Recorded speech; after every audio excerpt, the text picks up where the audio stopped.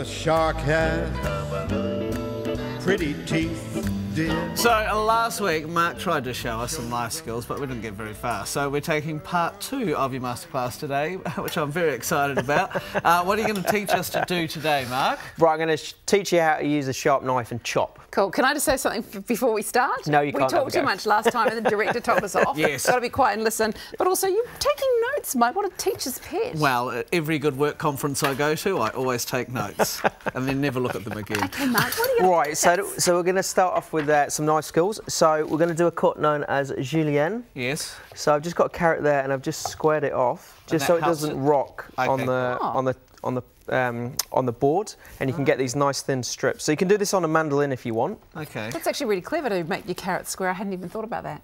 Well, then it's not round and it just makes it a lot easier. And then you're just going to go the whole length of what you've cut of the rectangle, and you're just going to chop it, and you get these like little strips. That is awesome. So this is so this is julienne. okay, so square it off. Yeah. Helps with your And then- slice. That's quite sensible. And then if you want a brunoise, you do a ju- julienne, sorry? What, a, who? a brunoise, Brunoise, okay. uh, and then you get your, your little matchsticks, and then you just go across, and that's a really fine dice. You make this Ah, all look so easy, though, and I Doesn't it? know it's not because I'd be taking off pieces of my nail. No sharp knife. So so what you can see is you've got your you, you've got your fingertips there, and you're tucking them back, so you sort of your bottoms of your fingers are Yeah. way back from the knife, and you're using this part of the um, finger to just guide the knife. And you pretty much to get a really fine cut, you want to just cut in the same place, and just gradually move those fingers back, and it will just guide it back.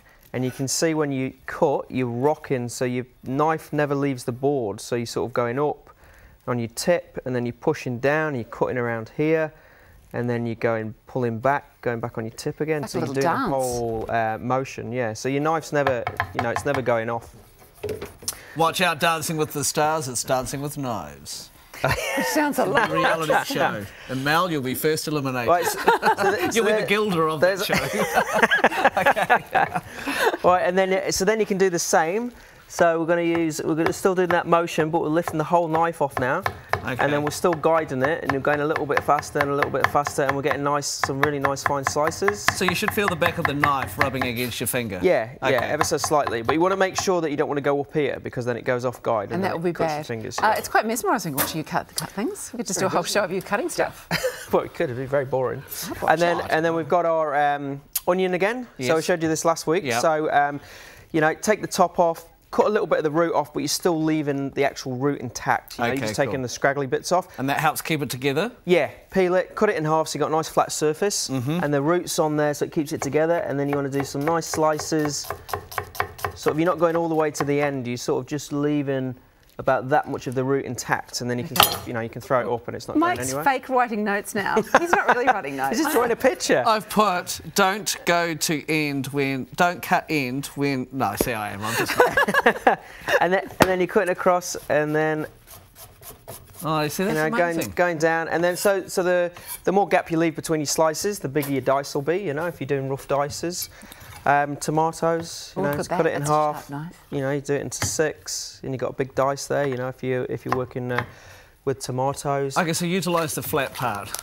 Yeah, yeah. Always have a flat part, you know. So Okay. I've got a, got a lettuce, cut it in half. Make sure you've got a flat part like that, and then if you're doing slices like that, this is called a chiffonade. Ah. You know, you Okay, get this good. nice sort of. How is that different to a julienne? Well, it's just a bit bigger, and it's lettuce. Oh, okay. Great. You know, and then uh, and then yeah, and then you've got your got your parsley here. Right. So what you want to do this? Well, yes, obviously- I struggle with parsley. Yeah. So any herb what you're going to chop, especially parsley or thyme or anything like that, you know, scrunch it up. Yeah. And then just sort of roughly go through it, but just obviously keep your fingers out of the way. And then, you know, you go through it once or twice so it sort of breaks it down a little bit.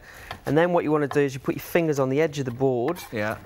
and then you just chop in like that and you just keep doing that over it, over it, over it. So you need a really sharp knife and after a, a minute or two, you know, you get a really, really fine, um, finely chopped parsley. Or you could stick it in the blender or the food processor. Based on the oohs and ahs I'm hearing from the control room, there's clearly a lot of people that have had years of experience cooking and have not been doing it right. It's therapeutic though, isn't it? It's like really, really mesmerising watching you do that. Hey, that's great. I love Um, it. Thank that is you. awesome. Thank you very much, Mark. We appreciate it. We didn't even touch anything. Did you notice that, Director Glenn? uh, no, well, we keep practicing during the break, which is very short, so likely we won't have us master any of these skills at all. That's right.